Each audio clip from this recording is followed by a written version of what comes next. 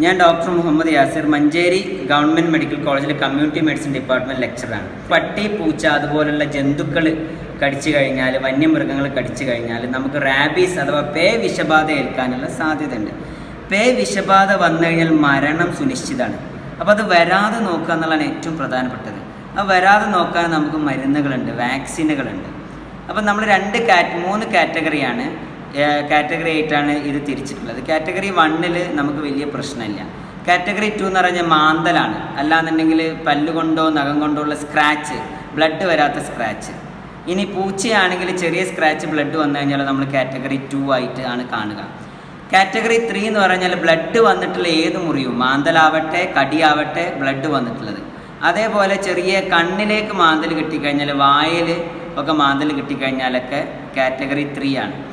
അതേപോലെ തന്നെ ഏത് പിന്നെ കാട്ടു ജന്തുക്കൾ കടിച്ചു കഴിഞ്ഞാൽ നമ്മൾ വയനാട് ചുരം കയറുന്ന വഴി കാട്ടിലെ അത് കാട്ടിലെ മങ്കി ഒക്കെ കടിച്ചു കഴിഞ്ഞാൽ നമുക്ക് അത് പിന്നെ കാറ്റഗറി ത്രീ ആണ്.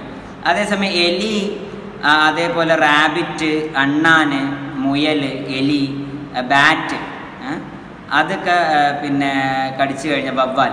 അപ്പോൾ വവ്വാൽ എലി അതുപോലെ അണ്ണാൻ ഒക്കെ കടിച്ചു കഴിഞ്ഞാൽ നമുക്ക് പേവിഷബാധക്കെതിരെയുള്ള കുത്തിവെപ്പ് എടുക്കേണ്ട അപ്പോൾ കാറ്റഗറി ത്രീ ആണെങ്കിൽ നമ്മൾ പേവിഷക്കെതിരെ മുറിവിന് ചുറ്റും നമ്മളൊരു ഇഞ്ചക്ഷൻ വെക്കണം. E R I G rabies immunoglobulin എന്നുള്ള സാധനം വെക്കണം. പിന്നെ അതിന്റെ കൂടെ വാക്സിനും കൂടി വെക്കണം. കാറ്റഗറി ടു ആണെങ്കിൽ വാക്സിൻ മാത്രം മതി. ഐ ഡി ആർ വി ഉണ്ട് ഐ എം ആർ വി ഉണ്ട്. നമ്മൾ സാധാരണ കൊടുക്കുന്ന ഐ ഡി ആർ വി ആണ്. ഇൻട്രാ ഡേർമൽ റാബീസ് വാക്സിൻ അതാണ് ഐ ഡി ആർ വി. അത് നമ്മൾ നാല് ഡോസ് ആയിട്ട് വെക്കണം. ഫസ്റ്റ് നമ്മൾ ഫസ്റ്റ് ഹോസ്പിറ്റലിൽ ഇത് വന്ന സമയത്തുള്ള ഫസ്റ്റ് ഹോസ്പിറ്റൽ വരുമ്പം പിന്നെ മൂന്നാമത്തെ ദിവസം പിന്നെ ഏഴാമത്തെ ദിവസം പിന്നെ ഇരുപത്തി എട്ടാമത്തെ ദിവസം. Day zero day three day seven day twenty നമ്മൾ പ്രത്യേകം ശ്രദ്ധിക്കേണ്ടത് ഈ നാല് ഡോസും കംപ്ലീറ്റ് ചെയ്യണം. എന്നാൽ നമുക്ക് പത്ത് പതിനഞ്ച് വർഷത്തേക്കോ ലൈഫ് ലോങ് ഇമ്മ്യൂണിറ്റിയാണ് പിന്നെ പേപ്പട്ടി തന്നെ നമ്മളെ കടിച്ച് മാന്തി മുറിവാക്കി കഴിഞ്ഞാലും നമ്മൾ രണ്ട് ഡോസ് ഒറ്റ സൈറ്റിൽ ഇഞ്ചക്ഷൻ വെച്ചാൽ മതിയാവും. അപ്പോൾ ഈ കുത്തിവെപ്പ് പൂർണമായിട്ട് എടുക്കുക. അത് നമ്മൾ ശ്രദ്ധിക്കേണ്ടത് എന്ത് കടി അനിമൽ ബൈറ്റ് വന്നു കഴിഞ്ഞാലും ഉടൻ ആ ഭാഗം റണ്ണിങ് ടാപ്പ് വാട്ടറിൽ പത്തോ ഇരുപതോ മിനിറ്റ് വെള്ളം ഒഴിച്ച് ശരിക്ക് സോപ്പ് കൊണ്ട് വൃത്തിയാക്കുക. ആ വൂണ്ട് ടോയ്ലറ്റിംഗ് ആണ് ഒന്നാമതായി ചെയ്യുന്നത്. രണ്ടാമത് തൊട്ടടുത്തുള്ള പ്രാഥമിക ആരോഗ്യ കേന്ദ്രത്തിൽ ഫാമിലി ഹെൽത്ത് സെന്ററിൽ പി എച്ച് സിയിൽ പോവുക.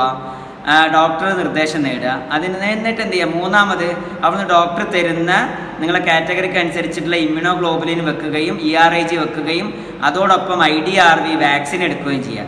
ഈ വാക്സിന് പ്രത്യേകം ശ്രദ്ധിക്കണം. നാല് ഡോസ് നമ്മൾ കംപ്ലീറ്റ് ചെയ്യണം. ആ കംപ്ലീറ്റ് ചെയ്ത് ഒ പി ടിക്കറ്റ് നിങ്ങൾ എടുത്തു വെക്കുകയും വേണം. ഇൻഫർമേഷൻ നിങ്ങൾ പരമാവധി ഷെയർ ചെയ്യുക.